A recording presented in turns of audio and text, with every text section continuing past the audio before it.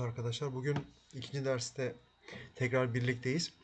Ee, bu derste Tools, Window, Extensions ve Help menülerini incelemiş olacağız ve SketchUp'taki bütün menüler tamamlanmış olacak. Bununla beraber e, temeldeki basic komutların tamamını görmüş olacağız ve bundan sonraki derslerde de buradaki e, bilhassa Large Tools seti kullanarak modeller yapmaya, 2D, 3D modeller oluşturmaya başlayacağız. Dilerseniz hemen başlayalım. Tools menüsüne tıkladığım zaman ilk Select komutu geliyor. Select bildiğimiz mouse'la imleciyle yaptığımız her türlü işte seçim, sol tıkla işaret edeceğimiz. Örnek veriyorum mesela bir e, dikdörtgen çizelim. E, bunu Select tuşu yani şu Large Tool Set'in birinci komutu veya Tools'taki Select komutuna tıkladığımız zaman buradaki mouse'u kullanmış oluyoruz. Yani mouse'la her şekilde her objeyi seçebiliyoruz. Grupları, komponentları, daha sonra face'leri, e, e, edge'leri, vertexleri hepsini seçebiliyoruz. Birden fazla şeyi seçmek için e, sağdan sola doğru bir e, seçim çubuğu, seçim dikdörtgeni oluşturarak da birden fazla seçim yapabiliriz. Soldan sağa yaptığınız zamansa e, seçtiğiniz objeleri tamamıyla bu seçim penceresinin içerisine almanız gerekmekte. Bunları söyledikten sonra ikinci komuttan devam edelim. Erase. Eraser silgi demek arkadaşlar. Yani aslında Large Toolset'teki gördüğünüz dördüncü komut. Ee, silme komutu belli zaten bunu geçiyoruz. Paint Bucket komutu materyal komutu aslına bakarsanız. Yani buradaki gördüğünüz materyaller yani materyal skalası sağ tarafta gördüğünüz e, sekmede belirdi şu an. Asfalt konkret yani asfalt beton işte taş daha sonra e, Amerikan Siding panel e, tefrişleri yine e, işte halı desenleri, kumaş desenleri, renkler, işte camlar, peyzaj ve fencing dediğimiz işte bu çitler, metaller. Ee, burada dünya ahşaba kadar işte birçok e, farklı e, cins malzemeyi bulabileceğiniz e, bir kartela diyebiliriz bu Paint Bucket komuta. Örnek verelim mesela bir yüzey oluşturduk. Yani bir dikdörtgen yüzey oluşturduk. Bunun ben seramik olmasını istiyorum. Şu an tile'da seramikte gördüğünüz üzere istediğim seramiği seçip e, sol tıkla seçiyorum ve aynı şekilde yüzeyin üstüne gelerek boya kutusunun işareti çıkıyor ve ben buradan boya kutusu istediğim yüzeye tıklayarak o yüzeyleri ben istediğim materyali boyayabiliyorum. Örneğin tekrardan boya kutusuna tıklıyorum ve benzer şekilde materyali buraya dağıtmış oldum. Çok son derece basit bir komut. Devam ediyoruz. Move. Move komutu adı üstünde hareket ettirme komutu. Kısa yollarında burada görüyorsunuz. Paint Bucket'inki B, Eraser'ınki E, Select Space, e, yine Move M. Yani bu ne demek? M'ye bastığın zaman Move tuşuna gördüğünüz gibi imleç değişti. E, e, yani bir objeyi, bir grubu, bir komponentı veya herhangi bir yüzeyi yer değişikliği sağlamak için kullandığımız komut. Yani örnek veriyorum ben bir tane yine dikdörtgen oluşturdum ya da bu sefer küp oluşturayım. Bu küpü soldan sağa bütün hepsini içine alacak şekilde bir seçim penceresinin içerisine alıp sağ tıkla grup yaptım diyelim. Ve ben bunu M tuşuna basarak yani Move tuşuna basarak istediğim yönde X ekseninde gördüğünüz üzere şu kırmızı yanan çiz, kesikli çizgiler yani on red axis diyor. Kırmızı eksen üzerinde istediğim gibi hareket ettirebiliyorum. İşte yeşil eksende istediğim gibi on green axis yine veya on blue axis mavi eksende veya random istediğim eksende sağ sol ve orbit yaparak yani bütün yönlerde çevirerek istediğim noktaya move'la götürebiliyorum. Move komutu yer değiştirme komutudur. Taşıma komutudur. Böyle söyleyelim.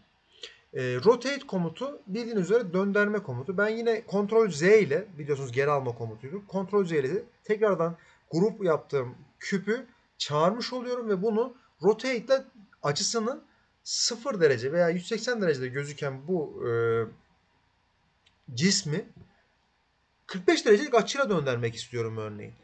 Bunu yapmak için rotate'e geliyorum. Yani kısaltması Q. Yeşil eksende herhangi bir noktadan mesela örneğin şu noktayı seçtim. Yeşil eksende kırmızıya bir referans çizgi atıyorum red axis üzerinden ve ben buradan bir açı değeri girerek gördüğünüz gibi şu an sol altta 9.7 derecelik bir açısı olduğunu gösteriyor. Buna 45 enter dediğim zaman 45 derecelik bir açıyla ben 3 boyutlu bu küpümü veya dikdörtgenler prizmasını hareketlendirmiş oluyorum. 45 derecelik açıyla döndürmüş oluyorum. Ee, yani bizim iki boyutta yaptığımız yer değişiklikleri açıyı bozmadan yaptığımız yer değişiklikleri move'la olurken üçüncü boyutta yaptığımız e, ve açıyı değiştirerek yaptığımız yer değiştirmeler ise rotate komutuyla sağlanmış oluyor.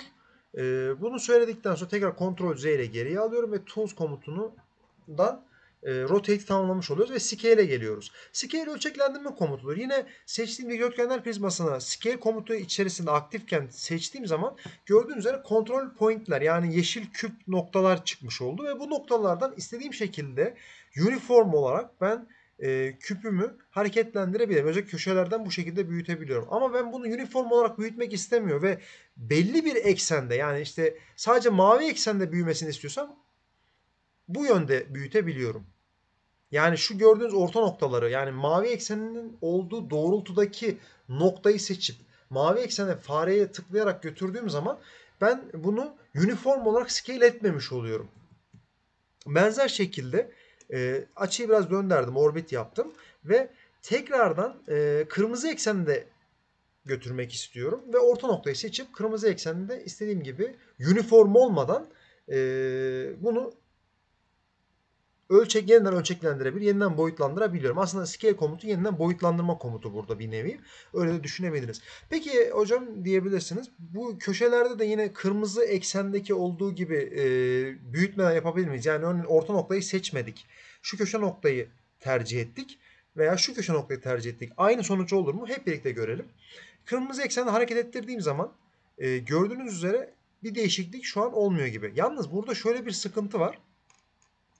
E, biz bu yeniden boyutlandırmayı yaptığımız zaman e, orta noktadan yapmanız sizin için daha uygun olacaktır. Çünkü kenarlardan yaptığınız zaman şöyle bir hataya neden olabilir. Yani bir anda fareye hakimiyetinizden kaynaklı olarak x ekseninde e, büyütmek yerine aynı zamanda bir y ekseninde de büyümeyi yap, sağlayabilirsiniz. E, istemsiz bir şekilde sağlayabilirsiniz. Bu yüzden e, büyütmelerinizi kullanırken genelde orta ağırlık merkezi yani bütün kübün veya dikdörtgenler prizmasının ağırlık merkezine en yakın olan kontrol noktasından düzenlemelerinizi yaparsanız daha sağlıklı şekilde yaparsınız. Bu arada her taraftan eşit şekilde büyütmek isterseniz örneğin mesela şu köşeye geldik ve her taraftan eşit şekilde büyütmek istiyorsam shift'e basılı tutuyorum ve bir noktasını sabit tutacak şekilde istediğim şekilde ölçüyü büyütüp altın oranı bozmayacak şekilde yani şu kesikli çizgide gördüğünüz oran aslında altın oran olmuş oluyor ve bu kesikli çizgi oranında istediğim şekilde küçültüp büyütebiliyorum scale komutunu kullanarak. Ama dikkat edin şimdi shift'e basmadım ve ben bunu şu an mesela kapattım shift'i. İstediğim açılarda oynayabiliyorum. Derken e, bir sonraki komuta da geçebiliriz. Push pull komutu. Push pull komutu aslında AutoCAD programı kullananlar için extrude komutuyla e, aynı işlevi görmekte. Yani şöyle izah edeyim. Programı hiç bilmeyen kişiler için de herhangi bir bir dikdörtgenler prizmasında grup olmadığı halini düşünün veya patlat, grubunu patlattığımız bir şekil düşünün. Bu e, bir poligonal şekil de olabilir, yüzey de olabilir. Yani önemli olan bir yüzey olması bizim için. Yüzeyin üzerinde yani bu poligonal yüzey üzerinde push pull komutuna tıkladığım zaman yani tools push pull komutuna tıkladığım zaman kısa yolu P istediğim şekilde e, ben bu yüzeyi yükseltmek için üçüncü boyut yani derinlik kazandırmak için bu komutu kullanıyorum. Peki ben bunu ölçülü şekilde yükseltebiliyor muyum? Tabii ki. Yani örneğin e, iki boyuttaki şekle e, bir kere tıklayıp distance bakın sol alttaki çubukta distance yani mesafeyi girin diyor. Bunu eksen önce bir hareket ettiriyorum. Mesela ben burada şu an düşey eksen eksende yani mavi eksende e, hareket yapabilirim. Çünkü benim e, yüzeyim mavi eksene bakıyor. Yani ben burada yeşil eksende bir e, şey çalışması yapamam. Yani örnek veriyorum şuradaki yeşil eksen doğrultusunda ben bir extrude yapamam. Onu yapabilmem için benim kamera açısını döndürüp yeniden e, yüzü green eksene yani yeşil eksene y eksenine bakan bir poligon çizebilirsem ancak açık kamera açısını düzelttiğim zaman daha net görebilmek için push pull komutunu aktif edip bu şekilde büyütebilirim. E, veya e, mesafeli bir şekilde büyütmemiz gerektiğini düşünelim. Örneğin mesela 5 metre yükseltecek olalım. Şu an metrede çalıştığımız için söylüyorum. Ve mavi eksende 5 metre yukarıya gitsin benim yüzeyim. Bir kere tıklıyorum 5 enter dediğim zaman 5 metre yüksekliğinde bir e, push yani yükseklik derinlik kazandırmış oluyorum. Push pull komutunu kullanmış oluyorum. Bir yüzeye 3 boyut kazanmış oluyorum. Yani burada e, şu an gördüğünüz üzere ölçü komutu buna da geleceğiz tekrardan. Bir noktadan tutup bir sonraki noktaya gittiğimiz zaman bakın gördüğünüz gibi 5 metre. E, benzer şekilde x alanında büyütmek istersem de yüzü x yönüne dönük bir e, yüzey olması gerekiyor. Push pull komutuyla ben derinlik kazandırmak istiyorsam. Bu şekilde gördüğünüz üzere. Ve grup olmamasına dikkat edin. Çünkü gruptayken örnek veriyorum veya component iken component yapalım. Create diyelim. Ben push pull komutunu aktif şekilde kullanıyorum. Gördüğünüz üzere e, push pull komutunun üzerinde e, yasak işareti belirdi. Kısıtlama söz konusu ve bunu bu şekilde yapamıyoruz.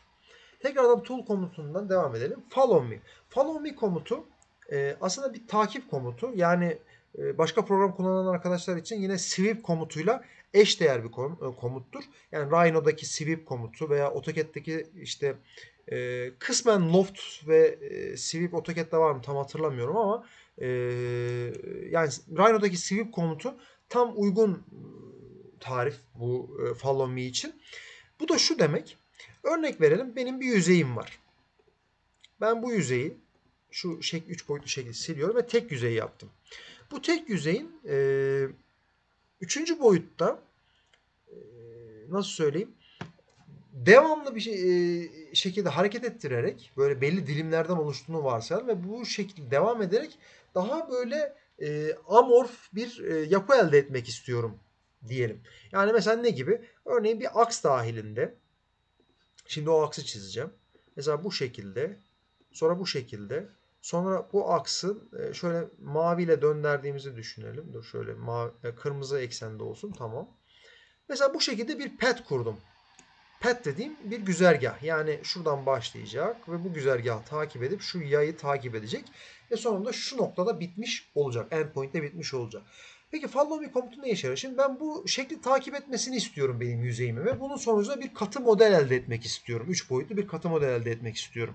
Bunu Normalde şu ana kadar öğrendiğim en e, yakın komut push pull komutu. Ve push pull komutuyla ben bu şekli buraya götüremiyorum. Gördüğünüz üzere bu güzergahı takip ettiremiyorum. Peki follow me komutuyla bunu yapabilir miyim? Evet yapabilirim. Follow me komutuyla e, da aktifken follow me komutu yüzeye bir kere tıklayıp güzergahın üzerine farenizi getirdiğiniz zaman kırmızı bir e, eksen beliriyor sizin güzergahınız üzerinde ve bu kırmızı ekseni takip edecek şekilde 3 boyutlu bir yüzey, bir katı elde edebilirsiniz. Follow me kısaca bu işe yarar. Bu şekli siz istediğiniz gibi freehand de çalışabilirsiniz. Örnek veriyorum mesela şöyle bir şeyler yapalım. Bu freehand çalışmanın içerisinde bir tane daire koyalım. Hatta bunun üçüncü boyutuna da biraz girmek istiyorum. Mesela şöyle başladım. Sonra biraz örneğin şöyle geldim. Şöyle gittim diyelim. Sonra geldim şöyle. Şöyle gittim. Gördüğünüz gibi farklı bir şekil yaptım mesela. Birkaç farklı eksende hareket edecek. İşte X'de, Z'de ve Y'de olacak şekilde. Hatta bunu da biraz daha şöyle yeşil eksene getirebilecek şekilde bir çalışma yapayım. An mavi eksende hala.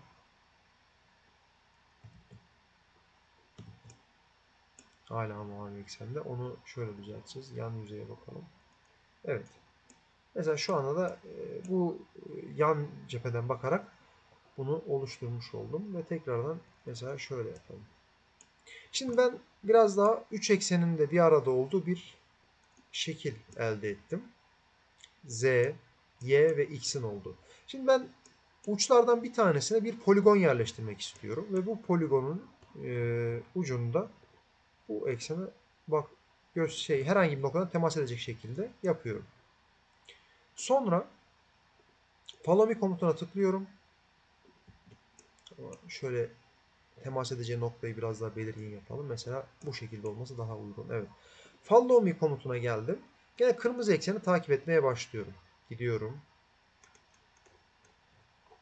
Ve gördüğünüz üzere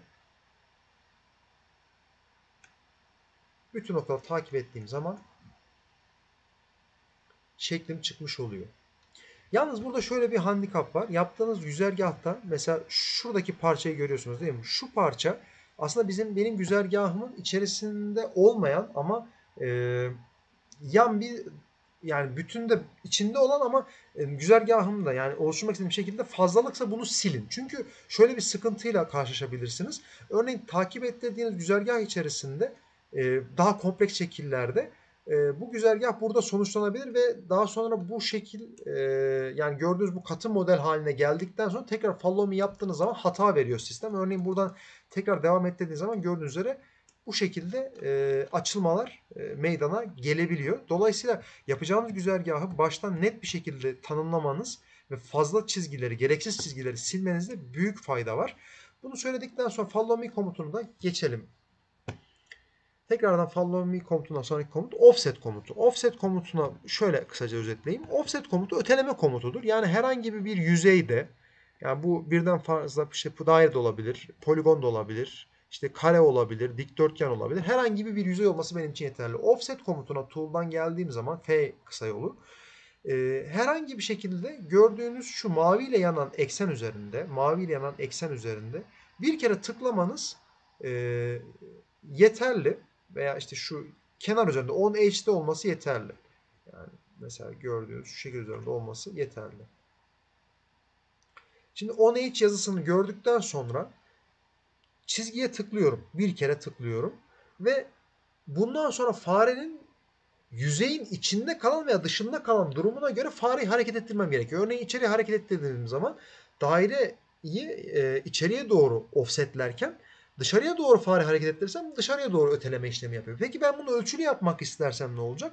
Gördüğünüz gibi gene sol altta e, metrik sistemde çalıştığımız için e, metre cinsinden birimler e, mesafe gelmiş oluyor. Bunu bir kere tıkladıktan sonra mesafeyi 0.50 dediğiniz takdirde 0.50 santim dışarıya offsetlemiş oluyorsunuz.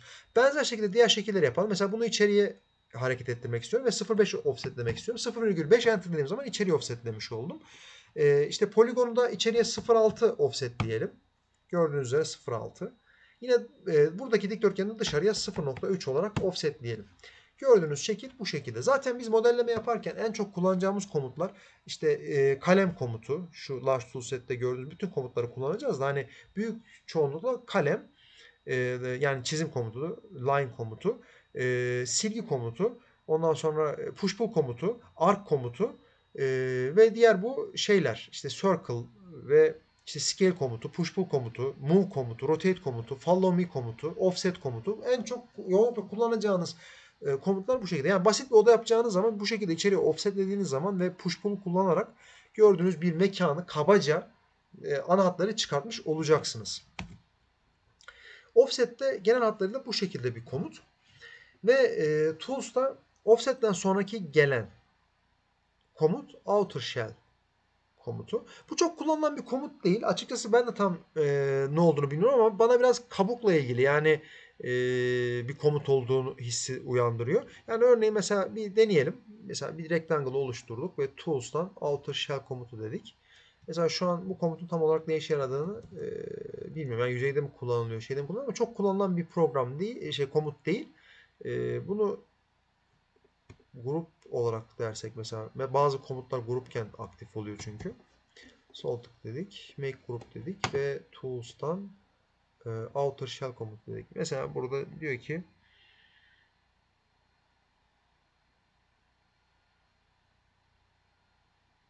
hmm. Yani bir katı model e, katı model olmaması gerekiyor ve kilitli olması gerekiyor diyor. E, bunu kilitlersek örneğin şuradan kilitleme komutumuz lock komutu gördüğünüz gibi kırmızı yandı kilitleme tuşu aktif olduğu için ve tekrardan tools'a gelip outer shell dediğimiz zaman e, burada diyor ki select object either solid or locked kilitli olmayacak and operation cannot be performed on this selection. Bunu tam e, bilemiyorum ama bununla ilgili hemen hızlıca bir bakabiliriz e, sistem üzerinden. E, yani çok gerekli bir komut değil açıkçası da bununla ilgili ben ayrıca bir uygulama şeyi bu dersin ekine yerleştireyim ders olarak. Yani şimdi çok üzerine durmaya gerek yok diye düşünüyorum. Lock komutunu tekrardan unlock yaptığımız takdirde ben bu objeyi e, silebileceğim rahatlıkla. Yani çok kullanılan bir komut değil. Solid Tools'ta da gördüğünüz üzere e, intersect yani kesişim, union birleşim, subtract e, birleşmiş iki şekil içerisinden bir tanesini çıkartma, trim e, kırpma, e, split de ayırma olarak düşünebilirsiniz. Bunların hepsini tek tek inceleyecek olursak intersect ile başlayalım. Çok yaygın olarak kullanacağımız bir komut. Örneğin iki tane e, bağlantılı kare oluşturalım diyelim. Bunları e, dikdörtgen ve kare oluşturalım. Bunları mesela bu şekilde e, birleştirdik. Ve ben e, yani burada aslında çok belirgin bir şekilde olmuyor da bunları şöyle göstermek daha doğru. Örneğin şöyle bir dikdö e, kare yapalım veya dikdörtgen yapalım. Yani şuradaki şeyi de yine benzer şekilde ikinci bir obje oluşturuyorum. Bunları komp yani grup yapıyorum. Bunu da grup yapıyorum komple. Ve birbiri içerisinde bir en, e, yani kesiştiriyorum. Entegre ediyorum. Ve bu entegrasyon sonucunda gördüğünüz üzere şu kesişim noktalarında bir e, temassızlık var. Yani hani bir bağlantı yok. Çünkü SketchUp'ta eğer e, yüzeyler arasında net bir çizgi görmüyorsanız o yüzeyler arasında bir bağlantı yok demektir ve hareket edebilir demektir. E, bu hareket lelik tanımını kısıtlamak için intersect komutunu kullanıyoruz. Yani böylece e, kesişen iki obje arasındaki sınırları net bir şekilde belirginleştiriyoruz. Yani intersect komutu sonucunda şuradaki gördüğünüz intersection in group, intersection in grup denilen iki e, şey nokta arasında, vertex arasında e, belirgin bir hatta şuradaki gördüğünüz kontürler oluşmuş olacak. Şimdi bunu nasıl yapıyoruz? Komple seçiyoruz ve e, tool komutundan solid tools'a gelip intersect diyoruz. Yani şuradan şöyle göstereyim. Intersect faces diyeceğiz. Buna width modelci sağ tıkla da yapabiliyoruz. Width model dediğim zaman gördüğünüz üzere şuradaki şekiller net bir şekilde çıkmış oldu. Orada bir hata yaptık biz. Yani grup halindeki iki şekilde birlikte seçip sağ tıktan intersect faces with model dediğiniz takdirde bunu bu şekilde oluşturmuş oluyorsunuz. Peki gruplardan bir tanesi açık olmuş olsaydı yine komple seçiyorum ve e, Tools'a geliyorum. Solid Tools'a geliyorum. Intersect diyorum.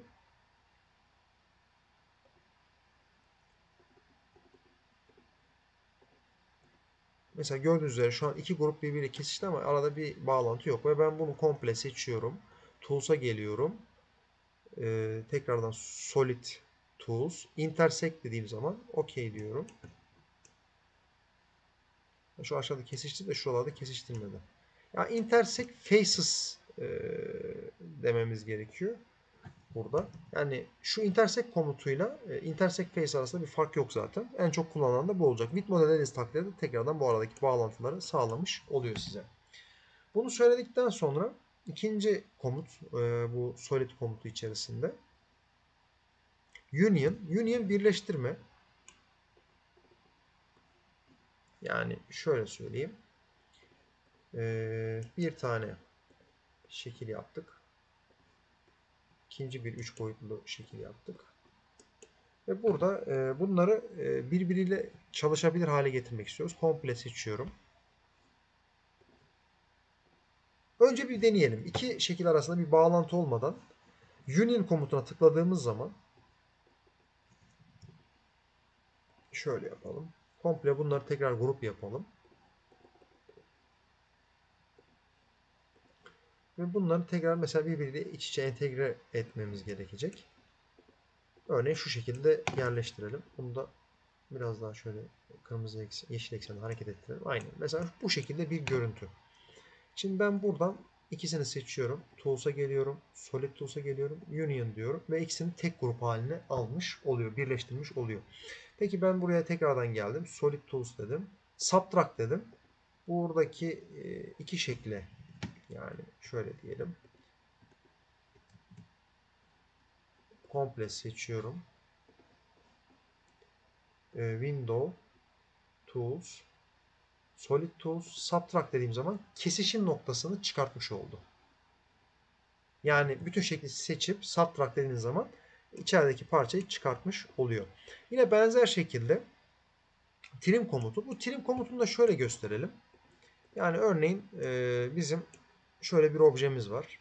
Ve ben e, şöyle bir parçayı getiriyorum.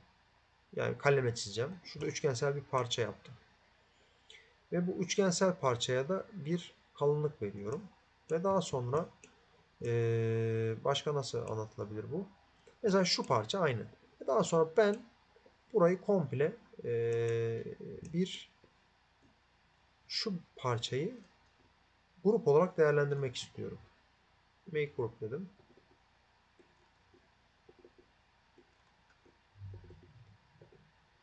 Bunu da make group dedim. Şimdi buradaki tüm şekli seçtiğim zaman tekrar tools'a geliyorum. Solid tools diyorum. Trim diyorum. OK diyorum. Grupgen olmuyor. Tekrar patlatıyorum. Explode. Komple seçiyorum. Tool diyorum.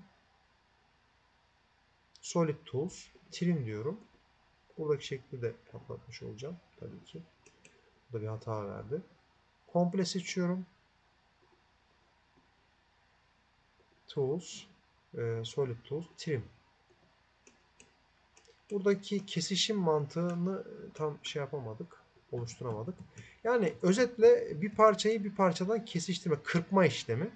Yani e, şöyle ifade edecek olursak. Bir tane de buradan deneyelim. Örnek aklıma gelmiyor şu anda. E, tools dedik. Solid Tools. Trim dediğimiz zaman Yok buradan şey yapamıyor. Yani trim komutunun da burada kırpma komutu olduğunu bilin. Şu an buradaki tam uygulamasını yapamadım ben ama hani şöyle söyleyeyim. Üçgensel yüzeye tıklayıp push pull komutuyla da benzer etkiyi aynen oluşturabilirsiniz. Yani sonuçta elde edeceğimiz şu üçgensel parçayı bütünden çıkarma işlemi. Bunu daha fonksiyon olarak yaptığınızı düşünün. Yani hani e, zaman zaman böyle basit e, yollarla da çözebilirsiniz bu trim kırpma işlemlerini. Yani örneğin demek ki gösterdiğimiz push pull tekniğiyle veya silgi yöntemiyle vesaire de bunları düzeltebilirsiniz. Yine kameradan paralel projeksiyona gelelim. Şey perspektife gelelim. Ve daha sonra e, tekrar kaldığımız yerden devam edelim. Tape measure komutu e, bildiğiniz e, ölçüm komutudur. T ile gösteriyor. Örneğin bir tane e, dikdörtgen çizdim ve bunu şuradaki tape measure tools yani gördüğünüz üzere buna tıkladığım zaman iki nokta arasında e, ki mesafeyi ölçmede kullandığımız bir komut. Bakın burada sadece ölçü alıyoruz. Ölçü vermiyoruz. Ölçü vermek için yanındaki komut yani dimension komutunu kullanmam gerekiyor. İki nokta arasını seçtiğim zaman bir ölçü vermiş oluyorum. Bunu da şöyle kısaca bir bilgi olarak vereyim.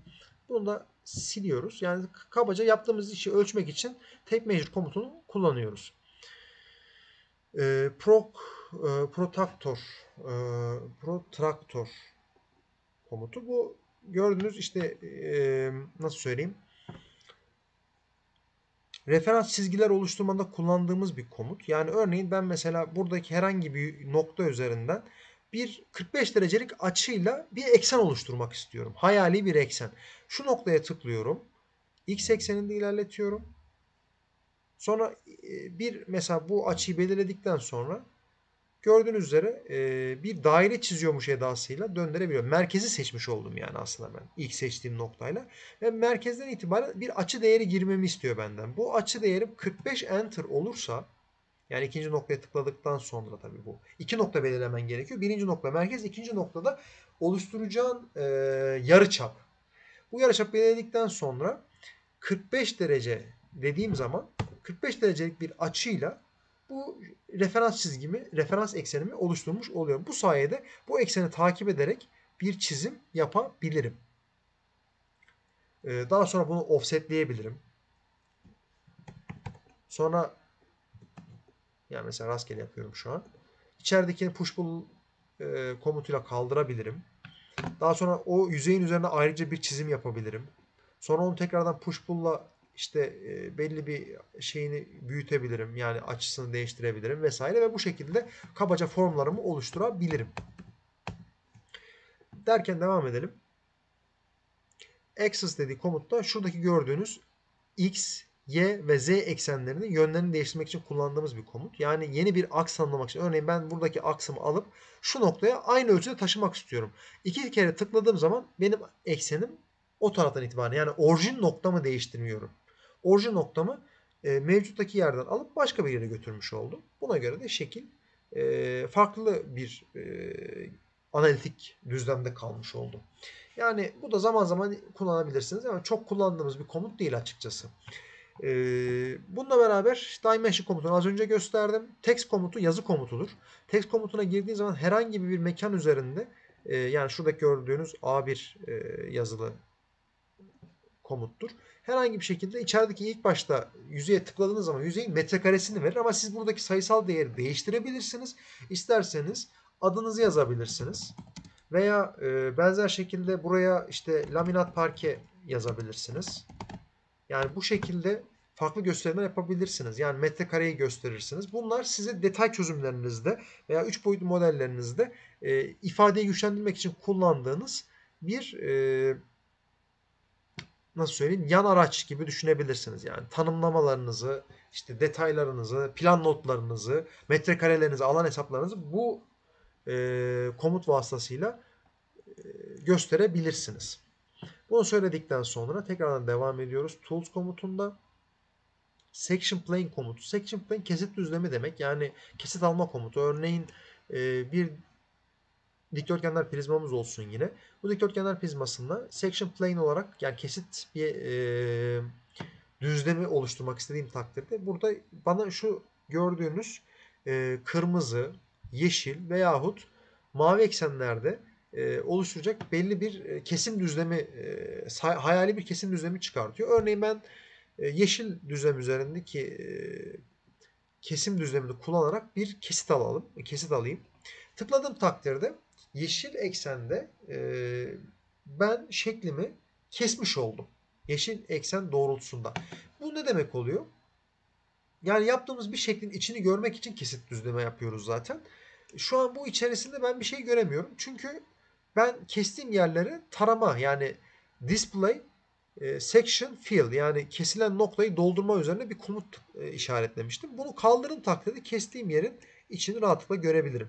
Ve ben tekrar move komutuyla yani M dediğim zaman e, move komutunu aktif ediyorum ve burada kesit üzerinde hareket ettirerek ben e, yaptığım bu solid yani 3 boyutlu şeklin içini görebiliyorum. Bunu da söyledikten sonra kesit üzerinde tamamlamış olduk. Bu Fredo'lar ekstra eklenen özellikler. Bunlara burada girmeyeceğim. Random Tool da yine benzer şekilde sonradan eklenen bir e, plugin. Advanced e, kamera tool mevcutta olan bir uygulama. Burada da kameralar yani animasyon için kameralar oluşturuyoruz farklı açılardan. Örneğin bir tane oluşturalım. Create kamera dediğimiz zaman kamera 1 diyoruz. Bu birinci kamera açısı. Ve daha sonra ben buradan yeni bir kamera eklemek istiyorum. Add komutuna geliyor. Mesela kamera 1'in üzerinde sağ tık yapıp add dediğim zaman e, yeni bir şey. Mesela update selected new style diyelim. Create scan diyelim. Bu da ikinci sahnemiz oldu. Şimdi ikinci sahneyi ben değiştiriyorum. Burada sağ tıktan mesela e, update diyorum ve açım bu. Şimdi kamera 1 dediğim zaman birinci açıya geliyorum. Kamera scan 2 dediğim zaman hop ikinci açıya gidiyorum. Bu bana animasyon yapmada kolaylık sağlayacak. Yani bu kameraları kullanaraktan en sonki derste bir animasyon oluşturacağız yaptığımız şekilden hareketle. Ve ben bunu mesela örneğin sağ tıkladım ve play animation dediğim zaman pause play tekrar başa dönüyor. Kendisi hareket ediyor. Stop dediğim zaman durmuş olacak. Ee, kamera tool'da da bunu kullanmış olacağız. Bununla birlikte Sandbox tool var. Bu aslında bir sonraki dersin konusu ama yine kısaca bahsedeyim. Sandbox'ta arazi e, düzlemlerini oluşturma, yani topografiyi oluşturmada kullandığımız e, bir komut. Aynı zamanda organik veya parametrik modellemeler de yapabiliriz ama çok uğraştırıcı olur. Yani daha böyle e, smooth yüzeyler yani yumuşak yüzeyleri de bu Sandbox e, komutuyla yapabilirsiniz. E, normalde bunun için daha güzel pluginler var. Hani ileriki dersler bununla ilgili bir kurs açacak olursak e, orada da detaylarına girmiş oluruz ama şu an bu kursun kapsamında pluginler yok. E, ama pluginlerin yapabildiği etkiyi e, normal default SketchUp'la yani basic SketchUp'la yapabileceğiniz e, en uygun e, komut Sandbox komutu. Yine e, Edge Tools'ta da e, bu, bu, bu da yine sonradan eklenmiş bir komut. Bu Edge Tools e, plugin. Burada mevcutta olmayan bir e, plugin yani mevcut sonradan eklenmiş bir komut diyeyim öyle söyleyelim. Diğer e, ikinci menümüze geliyoruz. Windows menüsü. Windows menüsünde de e, try'lar var. Default try. İşte buradaki try dediğimiz olay şu. Yani mesela şöyle diyelim. Ha, e, rename diyelim. Default try değil. Ben buna Muhammed demek istiyorum örnek veriyorum. Rename dedim. E, ve bu e, bir çeşit stil gibi düşünün. Yani bunu mesela aldım. E, Muhammed train'de örnek veriyorum. Şöyle gelelim. Şuradaki gördüğünüz bütün e, işte component'lar, sonra projeyle ilgili bilgiler, işte etiketler, ondan sonra bunlar için oluşturduğum bir stil. Yani bunu diğer projelerimde de kullanmak istiyorsam e, oluşturduğum bir altlık gibi düşünün. Menü gibi düşünün. E, örneğin e, Manage Trace diyelim. Mesela buradaki tray'de atıyorum neler gözükmesini istiyorsam onları yazıyorum. Mesela Entity Info. E, yani buradaki işte genel bilgiler, materyaller, komponentler. Mesela styles de görünsün istiyorum. Ve stillerle ilgili de bir birim açılmış oluyor. Daha sonra sys gözüksün istiyorum. İşte match photo diyorum ve her şeyi seçiyorum kısacası. Close dedim ve bunların hepsi şu an gelmiş oldu. Nereden geldi? Hemen bakalım. Bakın gözünüze style'lar geldi. Mesela ben bu style değiştirmek istiyorum. Ya bu arka taraftaki gri sistemi görmek istemiyorum. Ve tamamen beyaz görmek istiyorum. Beyaz site tıkladığım komple arka planı değiştirmiş oluyorum. Veya kendim bir stil oluşturmak istiyorum. Buna ayrıca da girebiliriz. O zaman da Create a New Style dediği bir sistemden ben kendi stilimi oluşturabiliyorum. Buradan e, işte genel olarak mesela yapacağım yeni stil içerisinde sis olacak mı? Mesafesi ne kadar olacak? Bunları giriyorum. Arka planda resim ekleyebiliyorum. Yani e, Create New Style dediğimde mesela örnek veriyorum. Buradan Edit dediğimiz zaman mesela Front Color, Transparency burada bir detay daha olacaktı.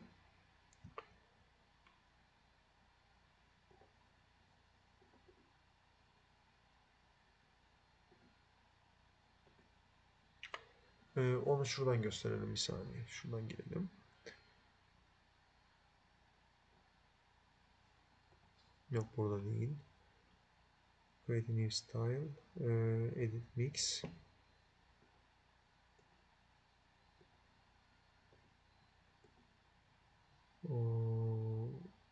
Onu tam bulamayacağım sanırım. Onu şuradan yapıyorduk bir dakika.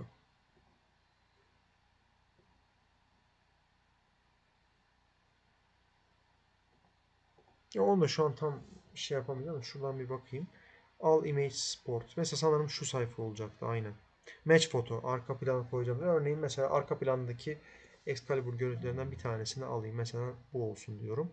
Ve bunu sistem üzerine otomatikmen kendisi arka plan olarak almış oluyor. Ben buna done dediğim zaman bu benim bütün e, stillerimde arka planda olan bir şekil olarak gelmiş olacak. Yani şu kenara bir daha geleyim. Excalibur Wallpaper.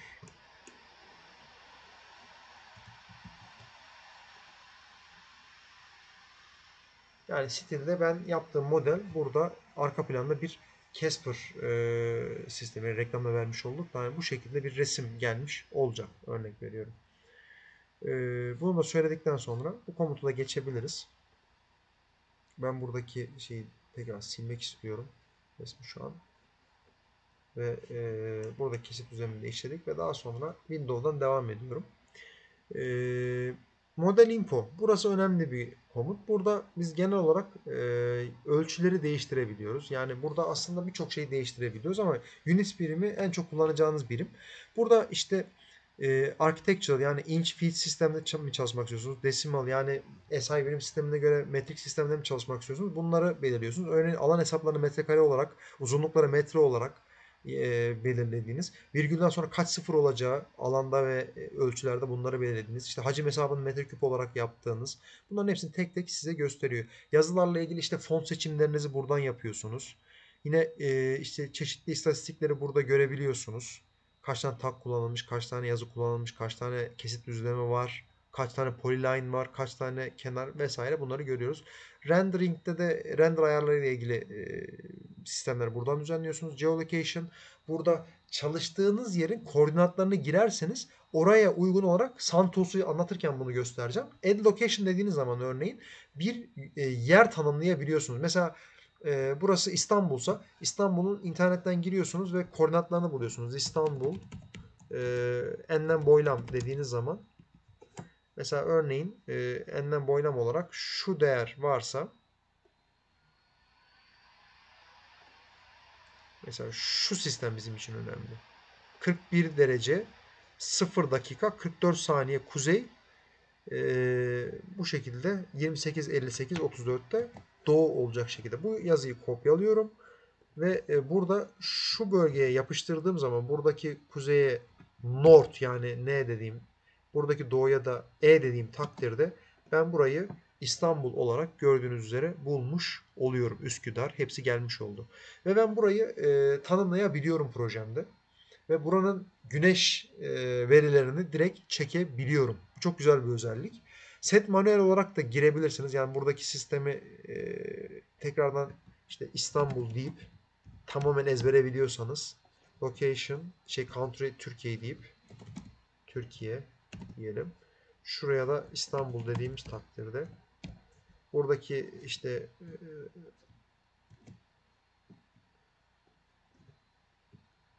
şuraya aldık. Burayı da böyle dedik ve ben burayı büyük N diye yazıyorum. Şurayı da E diye yazıyorum. 28. Bunu bu şekilde manuel olarak girmiş oluyorum. Bunu da bu şekilde göstermiş olalım. Yine file'da işte dosyanın isimleri, tanımlarını vesairelerini eklemiş oluyoruz. Dimensions'ta yine benzer şekilde fontların yani ölçü fontlarını belirlediğiniz işte e, ölçü çizgilerinin bitim noktaları oklarının gösterimine closed arrow veya nokta şeklinde göster. İşte e, kapalı ok olarak göster, açık ok, ok olarak göster, slash olarak göster falan diye çeşitli seçenekleri var. Credits e, yapımcılarla ilgili bir şey veya sizin kendi projenizle ilgili kimse mesela onları tanımadığınız e, sistem mesela bu projede SketchUp benim adıma kayıtlı olduğu için direkt benim adım geçiyor. E, bunu gösterebiliyoruz buradan. Yine Component'tan dediğim gibi e, işte buradaki component ayarlarını yapabiliyoruz. Grup editlerini yapabiliyoruz. İşte daha açık, daha koyu tonlarda e, gösterebiliyoruz.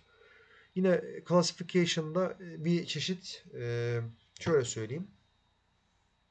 Sınıflandırma aslına bakarsanız. E, oluşturduğumuz klaslar, sınıflar var. E, Revit'te bu Familia diye geçiyor. E, familiar dosyası, Familia dosyası. Ee, yine AutoCAD'de blok olabilir benzer komutlar. Burada da bu şekilde örneğin kapılarla ilgili bir çizim yapıyorsanız veya dikdörtgenlerle ilgili bir gruplama yapıyorsanız bunları bu şekilde tanımlayabiliyorsunuz. Örneğin buradaki import dediğiniz zaman işte e, nokta .skc, nokta .xsd gibi dosyalarla e, uzantılar alabiliyorsunuz. ifc e, formatında dosya şey ifc e, şöyle söyleyeyim ee, onun tam açılımını hatırlayamadım şu anda. AutoCAD'de de bu IFC modelleme sistemleri falan var ama SketchUp'taki uzantıları SKC ve XSD şeklinde. Şimdi e, bunlar da çok kullandığımız komutlar değil ama bilmenizde fayda var yine. E, yine animasyonla ilgili işte saniye geçişleriyle ilgili, e, sahneden sahneye geçişle ilgili bir işte saniye hesaplar var. Bunları da buradan gene model infodan düzenleyebiliyoruz ama en çok burada kullanacağınız bana sorarsanız geolocation olabilir, units olabilir.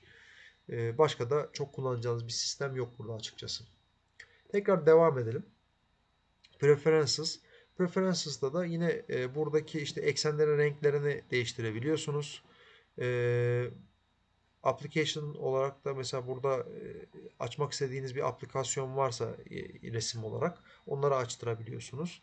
Yine işte burada mesela mouse'un tekerleği ile ilgili ayarlar var. Yine benzer şekilde e, şuradaki ayar tam bilmiyorum ama çok kullanılan bir şey değil. Yani ben kullanmıyorum çizimlerimde.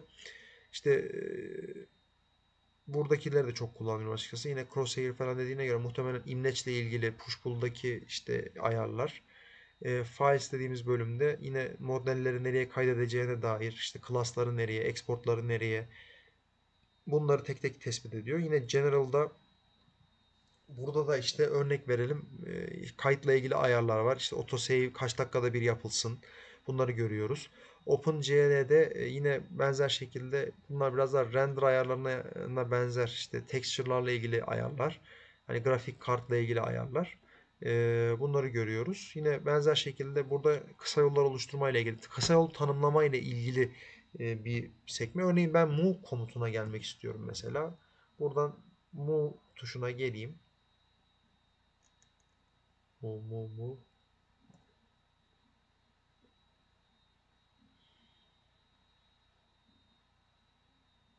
Mesela line komutu atıyorum. Line komutunun kısa yolu L'ymiş. Ben bunu değiştirmek istiyorum. L olmasın da diyorum. Yeni bir tane kısa yol ekleyelim. H ekleyelim diyorum. Ekle diyorum. Mesela bu H normalde kamerada kullanılıyor diyor. Bunu değiştiriyorum. Mesela ne olsun? Ç olsun. Kısa yolu. Ç. Veya C. CC ya da ne bileyim işte shift artı diyor veya e, ne diyeyim shift C diyelim mesela. Tamam bunu ekliyorum. Şu an shift C dediğim takdirde de yine çizgiye gelmiş olacak. Yani çizim komuta gelmiş olacak. Deneyelim. Shift C yapıyorum. L dedim mesela buraya geldi. Shift C diyorum. Şu an niye yapmadı onu anlamadım. Aynen bir dakika şöyle yapalım. Shift C diyelim. Shift C. CTRL yok olmadı. Ya bunu e, bu şekilde extension'la niye olmadı anlamadım ama hani tekrardan bir daha deneyelim.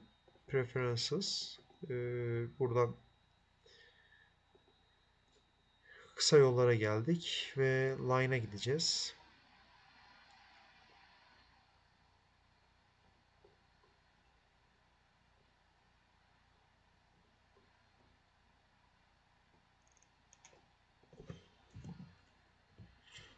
Burada line'ı buldum.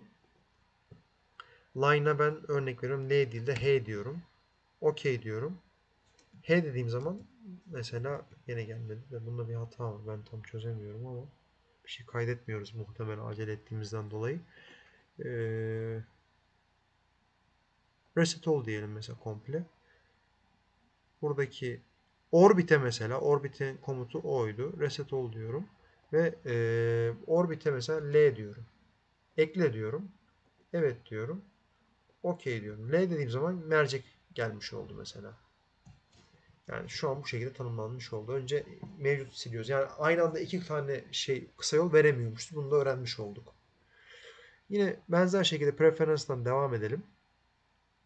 Preference'ın içerisinde atmadığımız template'ler var. Yani buradaki template'leri de baştaki açılan sayfa içerisinde yanlış bir seçim yaptıysanız yani örneğin int seçtiniz. Bunu e, metreye veya architecture sisteme, plan görünümüne, milimetre sistemine, feed sistemine buradan da dönüştürebiliyorsunuz. Workspace'te de e, bu sizin çalışma alanınızla ilgili ayarlar. Bunları tekrardan default olarak yapabiliyorsunuz. Ve e, bu komut da bu şekilde. Şurada kesit düzlemini silelim. Ve tekrardan devam edelim. 3D Warehouse'da sizin internetten hazır model alabildiğiniz bir market sayfası gibi düşünebilirsiniz. Buradan girip istediğiniz modeli aratabilirsiniz. Pencere, kapı, otobüs, işte e, koltuklar, e, başka aklınıza gelebilecek her şey var. Örneğin kapı diyorum mesela. Kapı ile ilgili. Yani bunları İngilizce aratmanızda daha fayda var. Mesela products diyor. Products'ta sadece ürün görürsünüz. Modelde model görürsünüz. Yani 3 boyutlu bir çalışma. Koleksiyonda bir firmanın yaptığı bütün kapı modelleriyle ilgili. Örneğin mesela Door'dan gidelim. Yani İngilizce yazalım. Door diyelim. Product olarak kapı modelleri çıkar. E, model dediğim zaman da gene işte bizim gibi kullanıcıların yaptığı modellerin paylaşımları olabilir. Aşağıda paylaş yani model sahiplerinin isimleri de çıkıyor tabii ki. Collection dediğimiz zaman da bir firmanın yani örneğin LTN firmasının veya Calvin Klein'in işte farklı firmaların e, kapı modellerini koleksiyon olarak indirebiliyorsunuz. Katalogda da benzer şekilde mesela burada Kolbe firmasının işte SketchUp'ın yine True Style'ın e, kapılarını görebiliyorsunuz. Koleksiyon olarak da indire, katalog olarak da indirebiliyorsunuz. Bunları projelerde kullanabiliyorsunuz. Benzer şekilde farklı bir şey diyelim. Mesela villa diyelim. 3 boyutlu bir bitmiş villa.